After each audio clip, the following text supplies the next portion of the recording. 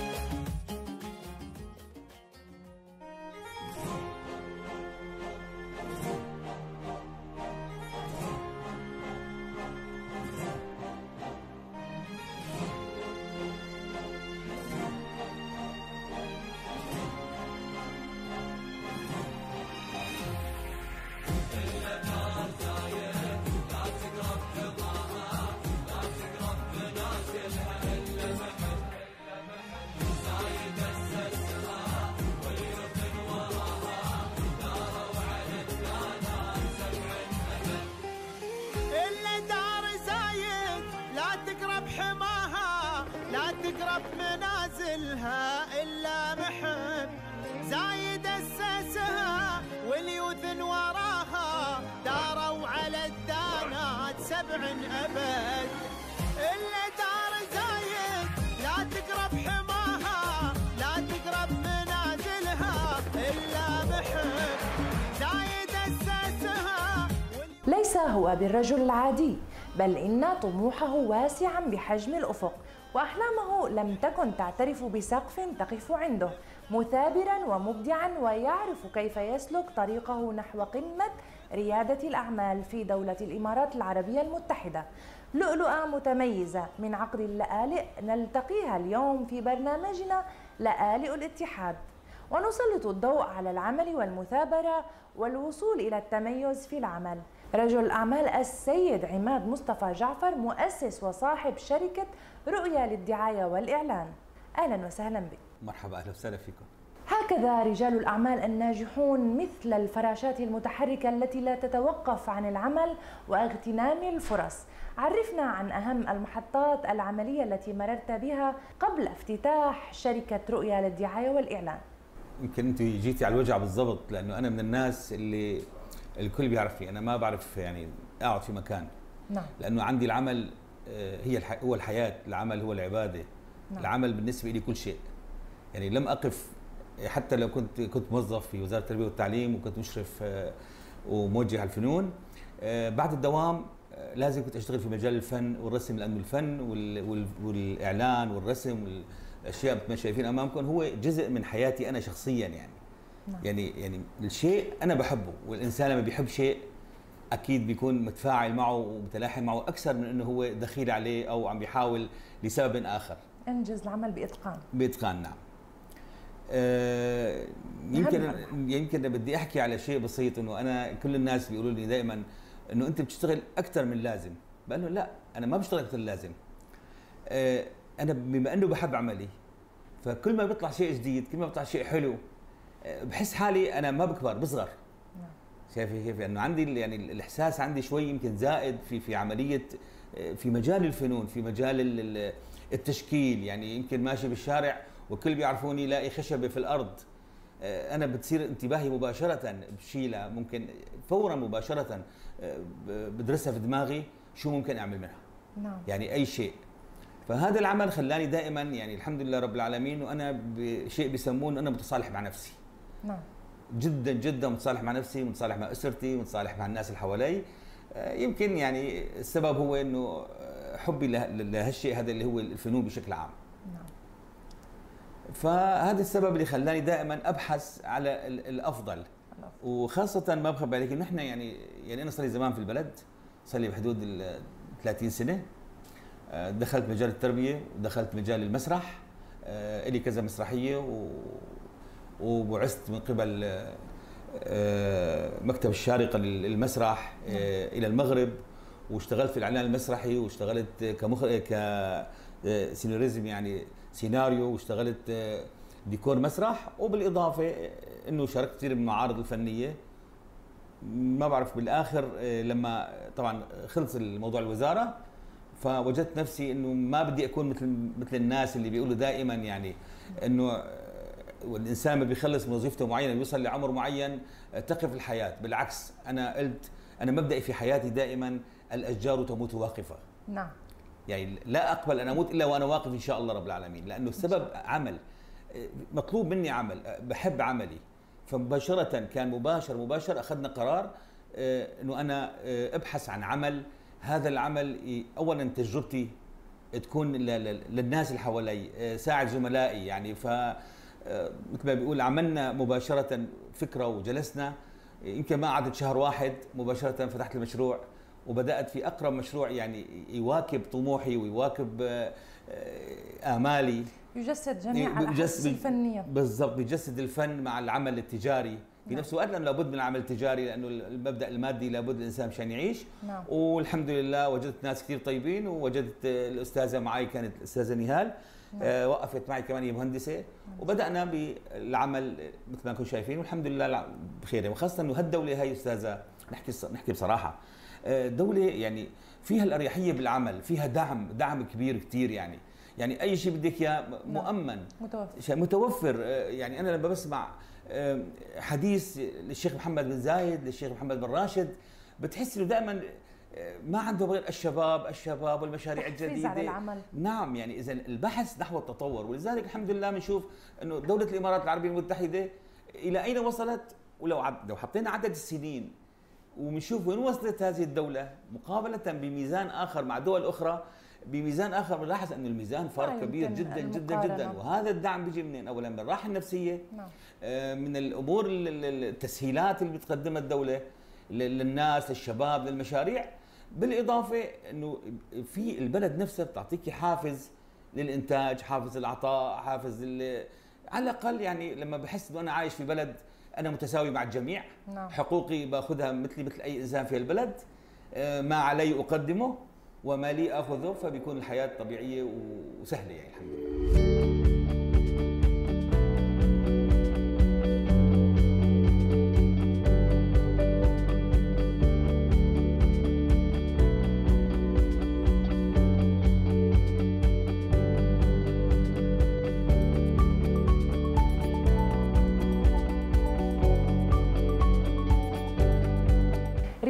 الأعمال كما تعلم سيد عماد هم رجال الفرصة.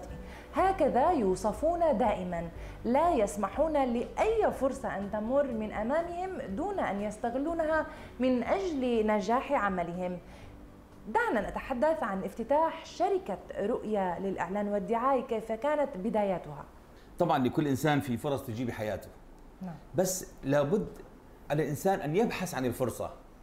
يعني أنا أنتظر أن الفرصة تجيني أنا هذا يعني يمكن بقاموسي شوي مختلف نعم. أنا أبحث دائما آه، يعني أذهب إلى الفرصة وليست أس- أنتظر أن تاتيني الفرصة هذا بصراحة نعم. ولكن الفرص كثيرة الف- الفرصة اللي سنحت لي هون نحن كنا آه، جالسين في مكان آه، طبعا عندي زميلة فنانة زميلتنا هي وأخت فاضلة مواطنة و... وقالت لي حتعمل إيش؟ قلت لها أنا حفتح مرسم لأنه أنا حلمي وطموحي يمكن بوجه الكلام لحكومتنا الرشيدة إنه أنا أتمنى إنه خبرتي 30 سنة في الفن إنه أنا آه، أقدر فيد هالجيل الجديد. نعم. لأنه عندنا خبرات عندنا أشياء كثيره جدا. يعني أنا كان لو تسأليني قبل رؤية لل- للدعاية والإعلان شو بتحلم؟ شو بتحلم؟ أنت تفتح كنت أقول لك مركز لتعليم الفنون. الفنون. بالضبط. يعني كان هذا الهدف الأول هو مركز تعليم الفنون أكثر ما اني يكون رؤية الدعايه والإعلان ولكن طبعا يمكن في العراقيل المادية في عراقيل أخرى. هذه أمور إن شاء الله يعني ما هي كثير كثيره والحمد لله هو نفس الشيء. أنا بمارس عملي من ناحية الفنون من خلال ال- هذا المكان. فالفرصة كانت إنه لأول ما انطرح الموضوع إنه أستاذ عماد أنت فنان وكل الناس بدهم اياك حتى المدرسات والمعلمات تعطيهم دورات ولا كذا. فأنت مو مجرد أنت رحت شو تسوي؟ قلت له خلاص. شو الفرصة؟ قال أنا بعمل الرخصة والرخصة باسمك وافتح أنت وابدأ. فكانت فرصة بالنسبة لي نعم. ما توانيت ابدا. مباشرة بديت في المشروع والحمد لله سنحتنا الفرصة والأمور طيبه يعني.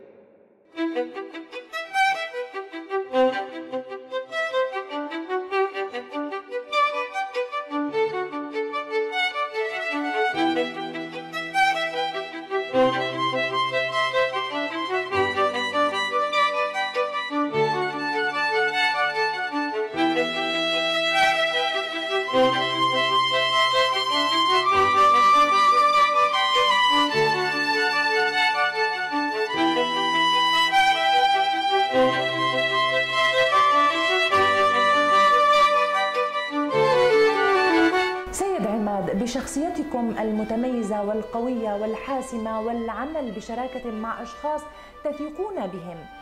من هم جنود الخفاء الذين ساهموا في نجاح عملكم؟ دائما الجنود بيعملوا بخفاء كثر. نعم. آه، منهم بس أنا أحب دائما أن أبحث عن الجذور. ببحث عنهم يعني. يعني زميل لي آه، ترك المدرسة أبحث عنه. فنان في مكان معين بحضور معرض معين يعني أنا دائما أطرق الأبواب آه، مباشرة يعني. ما ما بقعد إنه بشوف انه والله لا يجيني نعمة بات أطرق الأبواب. والحمد لله يعني أنا يقال إنه أنا موفق في عملي يعني يمكن رضا الله وحبي لل- لل- للعمل نفسه. تمام؟ فأنا لا أحب الانفرادية ابدا.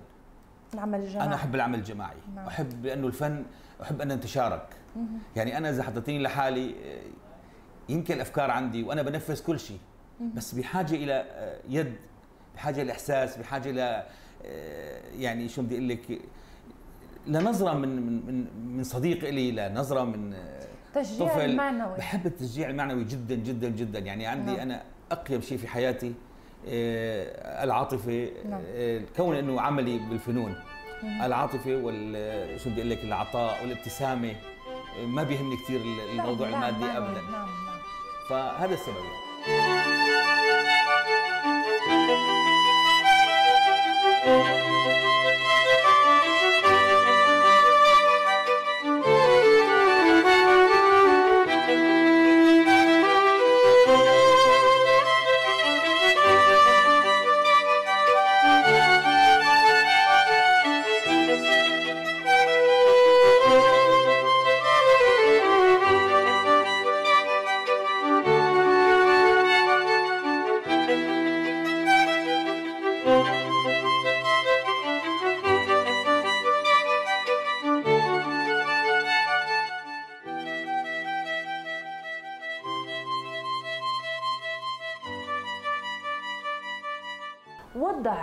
الخطط والاستراتيجيات الواضحة أوصلك لتحقيق أهدافك بشكل متقن وزمني محدد.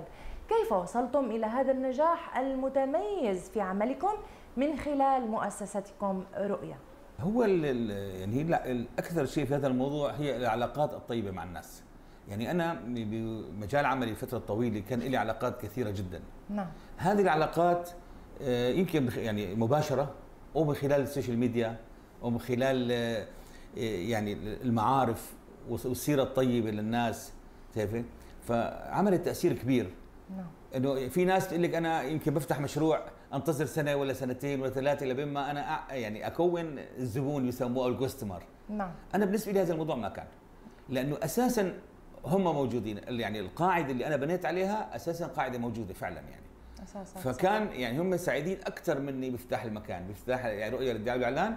أكثر مني لأنه أنا قبل اشتغل في المسرح أنا تابعت من خلال رؤية الاعلان آه، إنه وسعت في المسرح وسعت في العمل الفني وسعت في الديكورات لأنه أنا من الناس يمكن آه، وقفنا أنا وزملائي يعني والاستاذه اللي معي دائما إنه نحن آه، نبحث عن شيء لا يستطيع أي إنسان يعمله. نعم. ليس ب يعني هو ال- التفرد في العمل الفني يعني البصمة بسميها أنا أنا لازم أضع بصمتي. نعم. ولذلك لما لما دائما دائما حتى عمالي بي- بيزعلوا مني إنه أنت كثير عصبي أحيانا. يا جماعة أنا مش عصبي. أنا بحب لما يقال أن رؤية للدعاية والإعلان يعني أي عمل يقدم اولا وأخيرا ليس الهدف منه مادي الهدف منه إنه صاحب العمل بكفي ابتسامة ويقول شكرا. أعتبرها إنه هذه الشهادة اللي لي والإجرة اللي بأخذها يعني.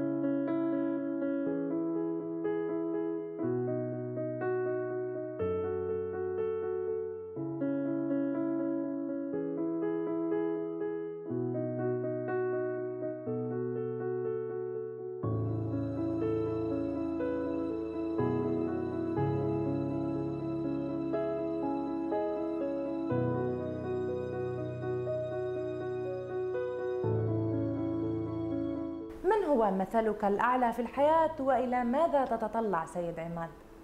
مثلي الأعلى آه، قديما كان والدي الله يرحمه لأنه كان فنان تشكيلي وكافح كثير.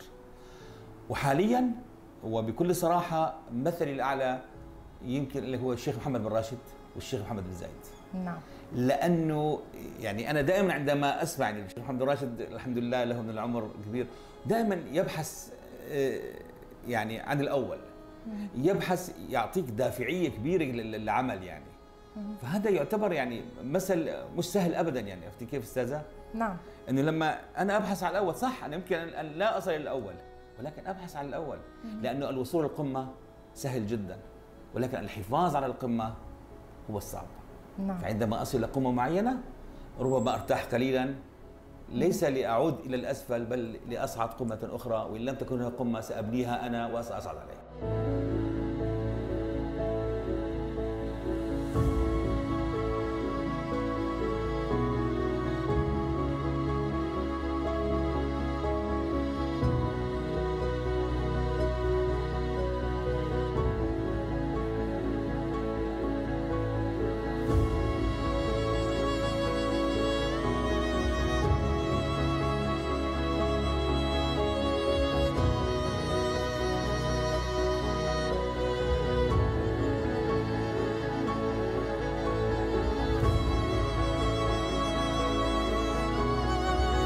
من خلال القدرة على اتخاذ القرار والإصرار والمثابرة نحو بلوغ الهدف نتمنى منك بضع الكلمات المحفزة ونصائح إيجابية للشباب المقبلين على العمل. آه، هو النصيحة أستاذة نصائح آه، كما يقال يعني بسيطة جدا. نعم. آه، أن لا أقف مكتوف اليدين عند أول حفرة قد أقع فيها. كلما وقعت كلما زادني الأمر قوة. ما في إنسان يعني أنا دائما أبدأ بنظر إلى, إلى النملة الصغيرة عندما بتش... مثلا واخدة معاها طعام بتطلع بتوصل متر بتوقع بترجع بتطلع مرة ثانية إلى أن تصل. فاليأس وكلمة أنا لا أقدر آه، أتمنى أن نشيل من قاموسنا لأننا فعلا نقدر وسنقدر إن شاء الله آه، بالجهد آه، بس التفرد والعمل بالمفرد آه، بهذا الموضوع يؤذي ابحث عن شريك ابحث عن يد أخرى ضعها في يدك عشرات الأيدي. لابد كلما اجتمعنا أكثر عمل جماعي. كلما مسكنا أكثر عمل جماعي سنصل إن شاء الله. وكن أنت الرائد. كن أنت القائد. نعم. مو مشكلة يعني ما في إنسان بيعمل مشروع لحاله تمام؟ يعني كن أنت القائد. خذ القيادة وخذ الريادة ولكن لا تنسى أن الطاولة لا تقف على قدم واحدة. هذه الدولة المعطاءة دولة الأمن والأمان دولة السعادة دولة خلق فرص العمل لجميع رياد الأعمال وتحقيق الطموحات والنجاحات أيضا للشباب وشابات الوطن. بظل قيادتها الرشيدة من حكام وقادة وشيوخ تستحق سيد عماد رسالة شكر وامتنان وتقدير لها. يمكن بكل فخر بقول لك إنه أنا شهادتي أه، مجروحة في هذا البلد لأني أعتبر نفسي اولا أنا ابن هذا الوطن. لأنه عشت هنا يمكن وعاشوا أولادي أولادي كلهم من مواليد الإمارات والحمد لله انتمائنا لهذا البلد. و يعني سأقول شيء يوم من الأيام يمكن الأستاذة اللي معي المهندسة نهال تضحك. آه، كنت في مكان ما أعتقد هذه الكلمة تكفي من عشر سنوات. فقالت لي مسؤولة المكان أستاذ عماد هل ستبقى في دولة الإمارات أم ستسافر؟ فقلت لها بحرف الواحد قلت لها كلمة قلبي كلمة عقلي بيقول لي بكفي قلبي بيقول لي لسه. شكرا سيد عماد. إحساس عال وذوق رفيع مشاركات عديدة وطموحات آمال وجميعها تحقق إلى أن وصلت إلى النجاح. شكرا لك شكرا على هذا اللقاء الرائع. تسلمي واهلا وسهلا فيكم. وأنا جدا جدا سعيد وفخور إنه بوجودكم معنا وبنقل يعني آه، هالمشاريع الصغيرة وإن شاء الله بتكبر في ظل هالدولة هي المعطاءة وإن شاء الله نلتقي في مكان آخر وبيكون العمل أكثر. وإن شاء الله قريبا رح يكون هناك في معرض فني خاص آه، إلي والأستاذ اللي معي ورح ندعيكم إن شاء الله لحضور هذا المعرض وحيكون معرض فني إن شاء الله في رعاية وزارة الثقافة إن شاء الله رب العالمين السلام عليكم ورحمة الله وبركاته أنا المهندسة نهار ربيع السعدني آه، معلمة فنون آه، بصرية وفنانة تشكيلية. اشتغلت في وزارة التربية والتعليم 13 سنة هنا في الإمارات وقبلهم سبع سنين في مصر.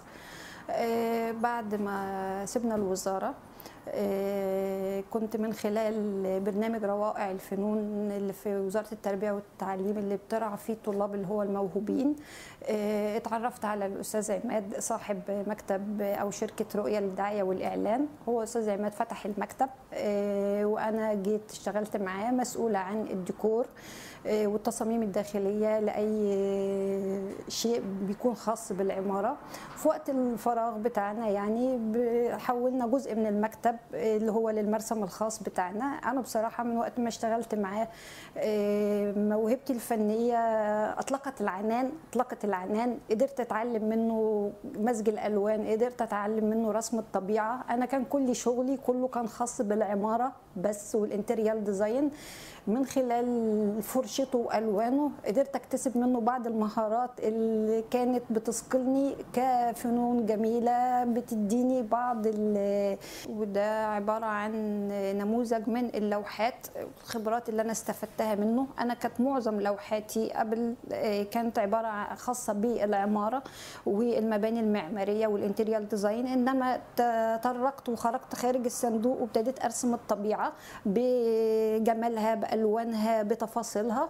آه، وده نموذج من التدرج اللوني والرسومات عن الطبيعة آه، اللي خبرتي استفدتها منه. ده نموذج تاني من لوحاتي. كان دايما أنا في رسوماتي بهتم بالمباني أو بالعمارة أو أي شيء خاص بالعمارة. ده كان عبارة عن بيت وكنت بستخدم فيه الظل والنور عن طريق المنظور. لمبنى أو للباب وبظهر فيه بعض التفاصيل. تطرقت منه للوحة تانية برضو عن الطبيعة وكان في الأساس كل رسوماتي كانت عبارة عن مباني معمارية طريق بحر كده. بس حاولت من خلال شغلي معاه إن أنا أدمج كل لوحاتي عن الطبيعة. أنا كتير سعيدة إن أنا بشتغل وبقضي وقت فراغي دايما يعني آه، في مرسم في حاجة أنا بحبها. كتير موهبتي اتطورت وكتير آه، حسيت إن أنا اتطورت من وقت ما اشتغلت آه، معاه. وحاليا أنا بشتغل مسؤولة عن قسم العمارة والديكور. وفي نفس الوقت بيكون عندي وقت فراغ بقضي وقتي كله في الرسم وحياتي كلها في الشغل وللعمل. لدرجة إن الواحد مش بيحس بالوقت من كتر ما بيشتغل. الحاجة اللي بيحبها. مشاهدينا لقد وصلنا إلى ختام حلقتنا لهذا اليوم. انتظرونا في حلقات جديدة وقصص نجاح جديدة. إلى اللقاء.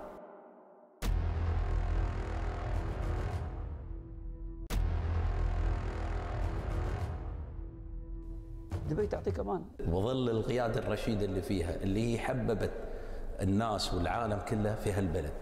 فأنا بالفعل فخور بنفسي وفخور بهالدولة الطيبة. لبناني. أنا شخصيا ابن مصر. قيام على البلد ليل مع نهار تركيزي ما كنا وصلنا للي وصلنا. أنا والله عمري من عمري خمس سنين وأنا تحت البوش.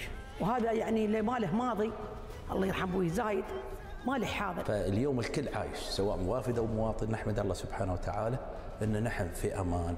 وفي استقرار وفي أحلى يعني وين ما تروح تلقى أنك أنت بين أخوانك وبين أهلك وبين ربعك وبين عشيرتك وبين الجميع.